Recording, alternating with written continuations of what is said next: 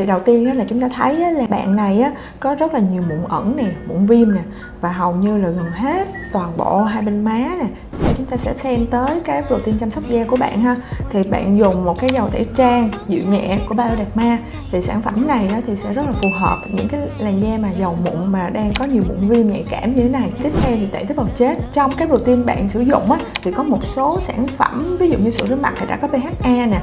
Bạn có thuốc trị mụn có thành phần là adapalene nè tức là những cái sản phẩm này sẽ có cái tác dụng phụ là khô, đỏ hoặc có thể là à, hơi rát da chút xíu. Chúng ta nên cân nhắc cái sản phẩm tẩy tế chất vật lý. Có thể là chúng ta sẽ dùng ít một lần trên tuần, chủ yếu là sử dụng ở cái vùng chữ T để giảm được cái mụn cám hoặc là cái sợi đã nhờn thôi, chứ không nên xoa trực tiếp vô những cái vùng mà đang có mụn viêm. Tiếp theo thì là một sản phẩm sữa rửa mặt có BHA cái sản phẩm này thì bác sĩ thấy là BHA cũng có hiệu quả điều trị mụn.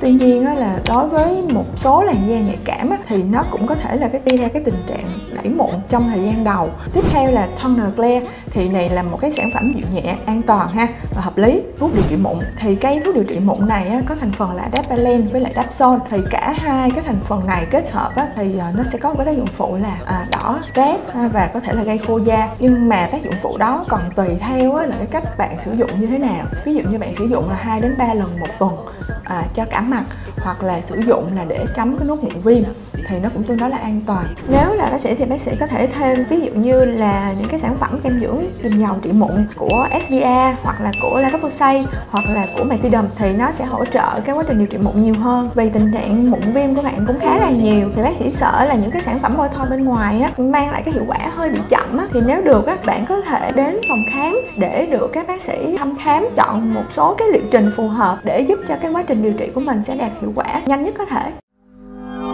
Thank you.